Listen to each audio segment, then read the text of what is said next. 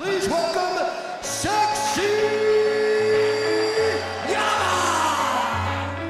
えー UFC に代わって自分の生活はやはりいいマンションにも住めるようになりましたしいいご飯も食べれるようになりましたし本当に UFC には感謝の気持ちでいっぱいです。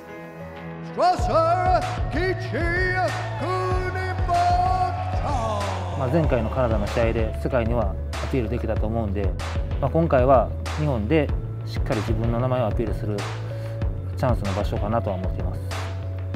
世界最高峰で戦えてるっていうやっぱ幸せと、まあ、本物の世界で戦ってるっていうやっぱそういうそういうのはやっぱすごい嬉しいですね。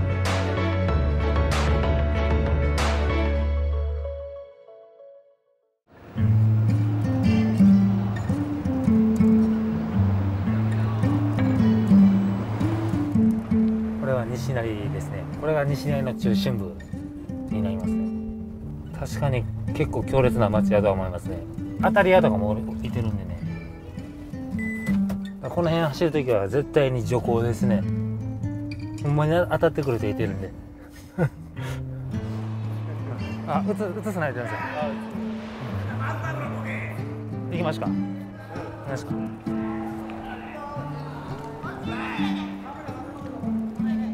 ごめんごめん。僕だけ映してたから。ファファイトの撮影。西成西成やから。仲間なんで。はいっす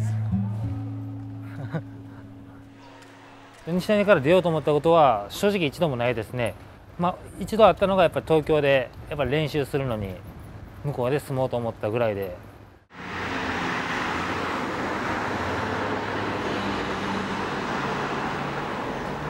えー私の出身は大阪なんですけど大阪の市内の、えー小さな焼肉屋さんがたくさんある、えー鶴橋というところで育ちました。大阪にいた時は MMA はまだ自分は全然知らなくて大阪行った時はずっと柔道をしてたので MMA は東京に来てからですねあの MMA をすると決めたのでそれでえあの東京に引っ越してきました。大阪で育ったからその今タフな気持ちとかっていうのは別で単純にまあ貧しかったっていうのが家庭がそんなに裕福ではなかったので少しでもお金を稼いでこう親にプレゼントをしたいなという気持ちがスピリットに変わったと思うので格闘技があるから自分の今があるのでやはり格闘技っていうのは本当に大きな存在ですしこのキャリアっていうのは本当に大切にしたいなと思います。今いろんな仕事を他の仕事をさせてもらってるのも格闘技があるからあのいろんな仕事をさせてもらってるのであのやはり格闘技のキャリアっていうのは本当に大切ですし他の、えー仕事も本当に大切にしてます。次勝ってしっかり勝ってアメリカとかで試合したいですね。アメリカの本土で。だいぶ儲かれるいや勝てば儲かりますけどね。勝てば勝っていけば何千万とか。そうそうなんですよ。今度はい勝ちに勝ちに行きます。はい。ファファイターになる前はあのスケートボードを7年ほど16ぐらいからやってました。長井公園っていう公園でここでずっと毎日スケボーしてましたね。昔の当時スケボーしとった時の板板なんでだいぶ古いんですけどね。もう今全くどんだけできるかわかんないですけど。まあ、スケートボードから格闘技する人っていうのはもうほぼゼロに近いほどいってないと思うんですけど、まあ、自分自身や子供の頃からすごい体が強くて、まあ、ずっと体を使ってやっぱり、まあ、スポーツでやっぱり、まあ、有名になりたいというか自分の名前を売りたいという気持ちがあったんで、まあ、その時に、まあ、スケートボードよりやっぱり格闘技やっぱりしたいという気持ちがあったんで思い切って24歳の頃時に格闘技の世界に飛び込みました。ここは自分の自宅と会社になります。まあ、リフォームの仕事とか、あの、やったりしてますね。あと、まあ、新築現場の設備の仕事です。でも、昔は現場出てはあの作業しながら格闘技練習してましたけど今はやっぱりなかなか現場であの仕事したらなかなかトレーニングできないんでもうトレーニングはやっぱり優先して、まあ、仕事の一環でやってますね。僕はもう絵でうちの母母親です。恥ずかしいわもう。これを息子に買ってもらった ネックレスやってるからちょうどええわ。これあの息子からあのいつもねあのお家でサポートするもんやからねお母さんありがとう言ってこれ今回ねプレゼントいただいたんですよ。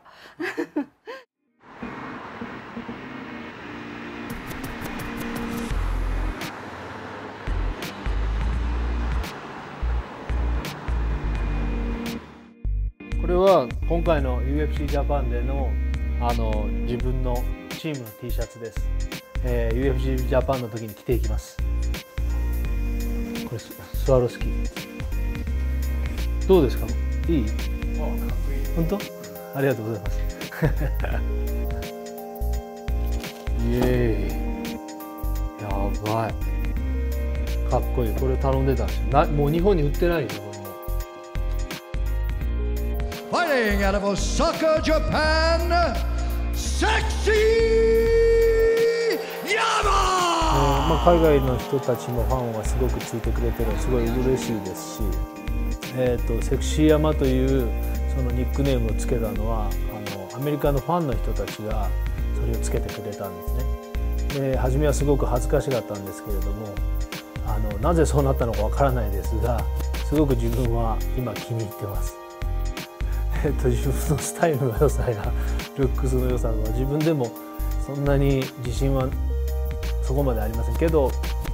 できるだけかっこいい服とかそういうファッションの雑誌とかをすごく見たりしてすごく勉強はしてます。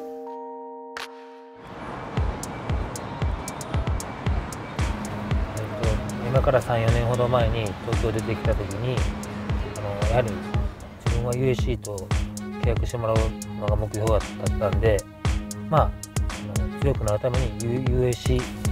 への道というノートをつけて日々練習してました。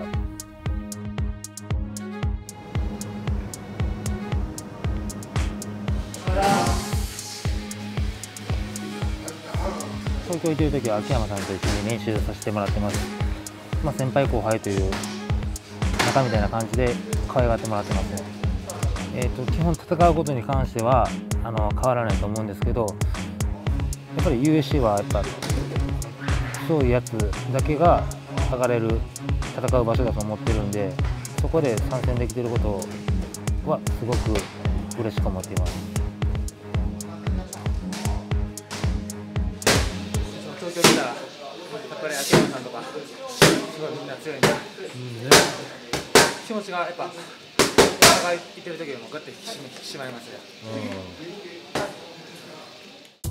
うん、USC は2014年の1月シンガポール大会ですまあ正直あの僕ランニングしてる最中にまあマネージャーの方からあのメールで USC 決まりました。どうされますかってメールが来たんですけどその時まあちょっとまあ泣き崩れるぐらいやっぱり嬉しかったも嬉しかったですね。はい。えーと、国本選手とはもう知り合って5年ぐらいになると思うんですけれども、えー、格闘技に対する気持ちもすごく真面目でですごく貪欲で欲をすごく持ってて、えー、今やっと UFC にも上がって戦績も残してあの自分のすごく可愛い後輩の人です。And now introducing his opponent fighting out of the red corner. This man is a judo fighter. Nice counter right. えー、ファンの人たちには次の試合もう久々に私も試合をするので自分自身もすごく興奮してますしですが今までと同じような秋山では多分試合には勝てないと思うんですねだから本当に違う自分を見せますし見せたいですしぜひ一緒にこうファンの人たちと戦いたいとそういう気持ちでいっぱいです。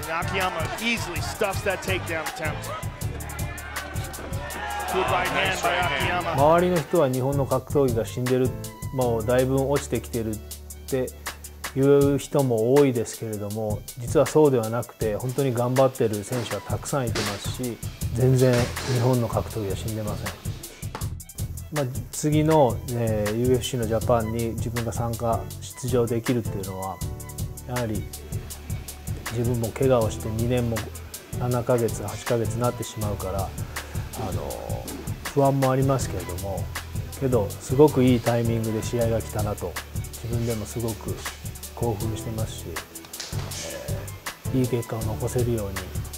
また日本で試合をできるので日本のファンの人たちにも自分の試合を見せることができるので楽しみです。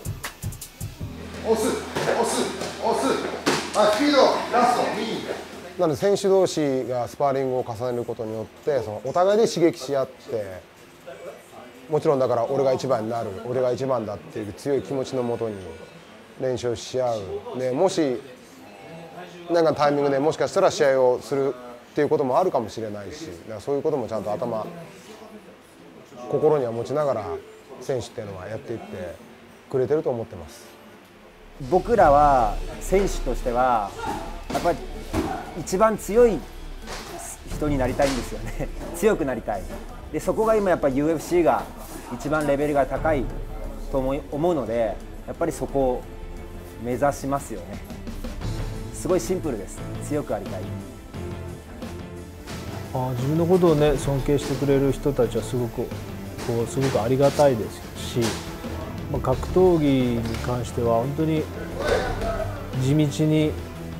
真面目に練習するしかないと思うんですそれで結果を残して総合格闘技の本当に、え目標とされている UFC に自分たちが参加できるということは本当に素晴らしいことですし、まあ、けどそのそこで満足しても意味がないというかやはり勝たないと結果を残さないとダメなのでもっともっとその上の選手と戦えるような存在にはなりたいとそうですねやっぱり UFC チャンピオン目指してやってるんでやっぱり秋山さんを超えるつもりで格闘技やってます。Ladies and gentlemen, we